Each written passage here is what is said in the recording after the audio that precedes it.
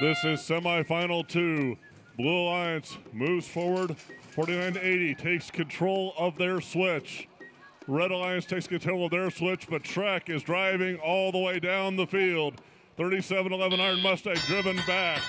Penalties accruing. Early on, it's Red Alliance 33, Blue Alliance 43.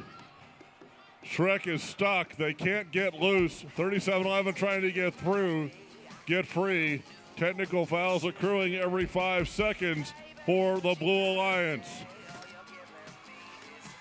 Meanwhile, Blue Alliance has gained control of the switch courtesy of Confidential 41 25. Here comes 40 61 down to the other end for the Red Alliance. They're down to near 49 80, 49 80, trying to work in the exchange zone for the Blue Alliance. Situation unchanged. Trout Lake is pinned by Shrek. Can't get free.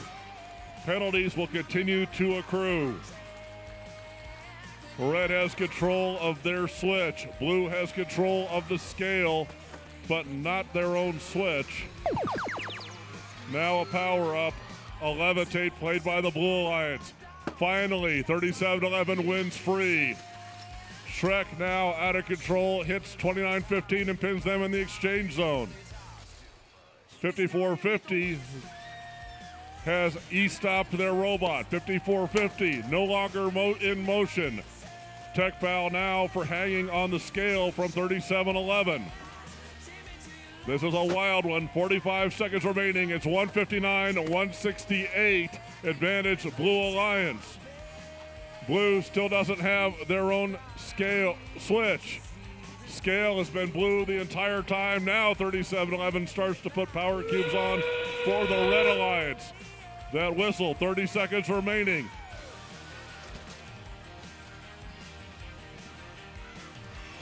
Power cubes available in the vault for both alliances. 3711 preparing to climb. Now there's a power up. It's a boost.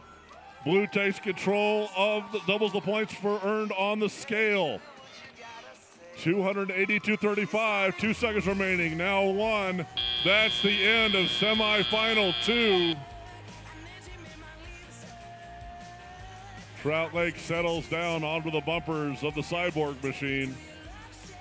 41-25 confidential parked on the platform. Referees with a bit to discuss.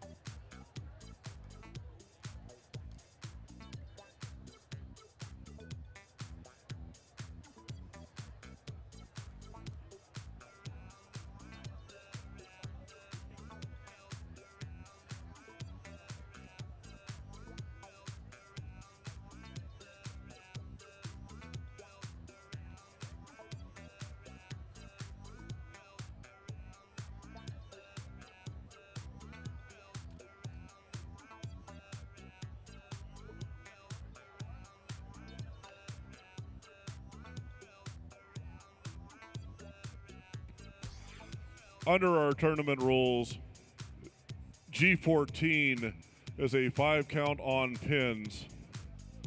If pins are extended and egregious, they accumulate directly to a red card.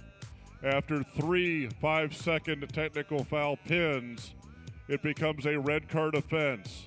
54 50 pinned 37 11 for over 35 seconds. As a result, Mike York, our head referee, exhibiting the red card to 54 50. That eliminates our Blue Alliance. The winners of our second semifinal and advancing to our finals